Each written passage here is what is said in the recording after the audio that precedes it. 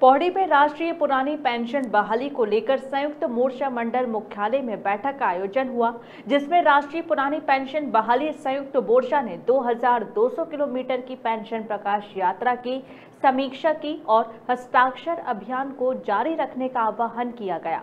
बैठक में पुरानी पेंशन बहाली को लेकर ज़ोर दिया गया। वहीं मोर्चे के प्रदेश अध्यक्ष मुकेश बहुगुणा ने कहा कि पुरानी पेंशन बहाली के लिए हर संभव प्रयास किया जाएगा। पौड़ी से मुकेश बछेती की रिपोर्ट।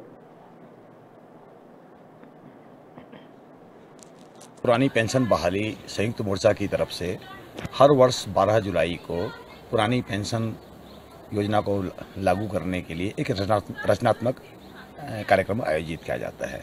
आंदोलन का उद्देश्य केवल विरोध प्रदर्शन ही नहीं होता है, रचना भी होती है। हम लोगों ने पहले भी मोर्चे के बैनर तले इसमें मांग की थी कि सरकार हमारी बातों को सुने और जिस प्रकार से अन्य राज्यों में पुरानी पेंशन के लिए मुहिम और उन्होंने लागू भी कर दी है, हमने यहाँ पर भी इसी प्रकार से कहा था और आज भी हमारी एक ही मांग है।